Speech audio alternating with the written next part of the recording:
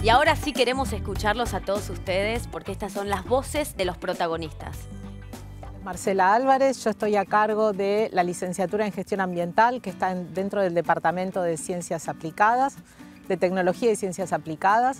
Em, nosotros tenemos la licenciatura en gestión de ambiental, eh, aproximadamente son de cinco años, en total hay un primer ciclo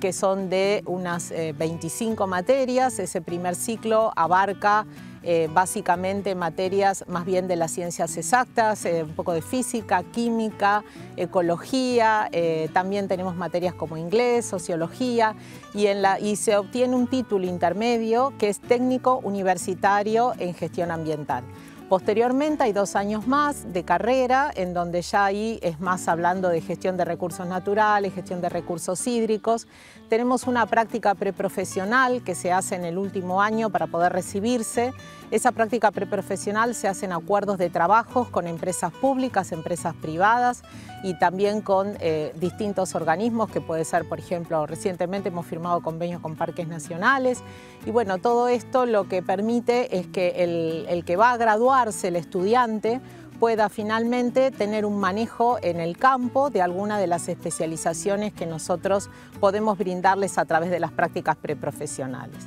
Eh, el campo de trabajo es bastante importante, se está trabajando ya hace dos años en el tema de que tenga funciones reservadas todas las carreras de gestión ambiental, licenciatura y ciencias del ambiente. Y bueno, eh, el campo es tanto desde el punto de vista del ambiente, social y económico, los tres componentes eh, importantes de lo que son el manejo y todo lo que son las políticas públicas con respecto al ambiente. A pesar de que esta carrera es de gestión, también se están tirando algunas líneas de investigación que tienen que ver con que eh, estudiantes que, estén en la carrera o bien graduados puedan incorporarse a la universidad a través de eh, becas que pueden estar cofinanciadas con distintas instituciones como la SIC, eh, la Comisión de Investigaciones Científicas de la Provincia de Buenos Aires, eh, bien sea con CONICET o becas que salgan del Bicentenario o distintos tipos de becas. Así que realmente creo que bienvenidos y si se animan a esta carrera, bueno, cualquier cosa que necesiten estamos a disposición para poder que nos consulten.